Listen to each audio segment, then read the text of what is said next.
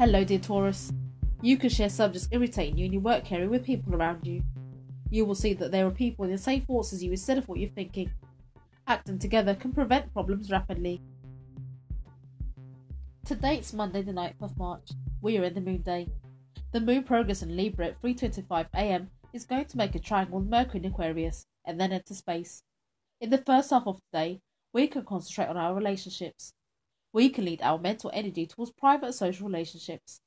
The moon at 10 past 3 pm is going to get out of space and enter Scorpio. Because of this, it will be right to postpone your important work and meetings to the afternoon.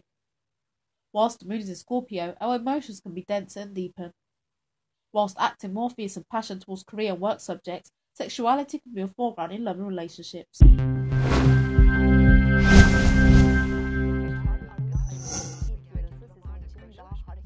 ilk finallerde tartışırken ikinci yarısı